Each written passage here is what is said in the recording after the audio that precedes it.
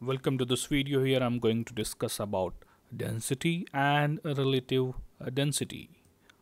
Okay, well density is mass per unit volume and we can also write it like this as density is equal to mass over volume.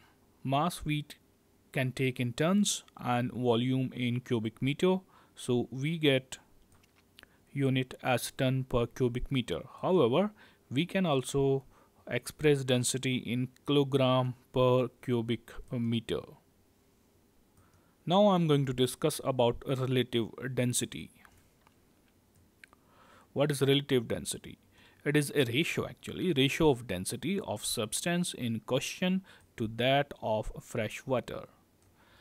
And since it is a ratio since it is a ratio ratio it doesn't have any unit there is no unit.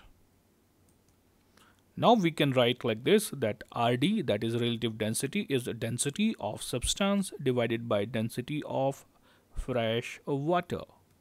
Well that can be written like this mass of substance divided by volume because density is nothing but uh, mass divided by volume. That is what we discussed few minutes ago.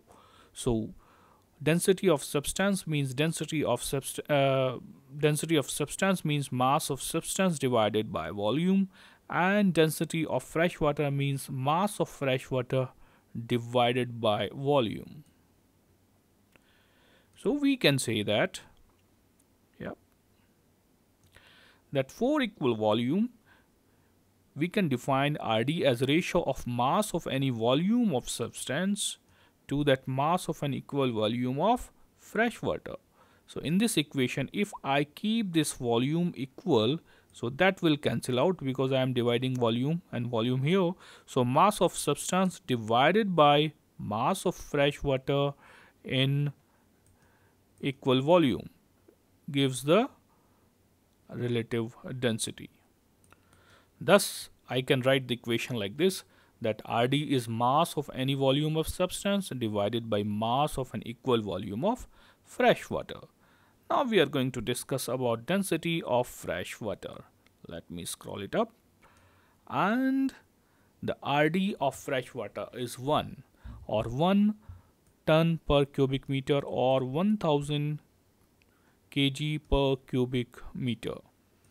Now on the contrast, uh, let me discuss about uh, density of salt water which is 1.025 ton per cubic meter or 1025 kilogram per cubic meter.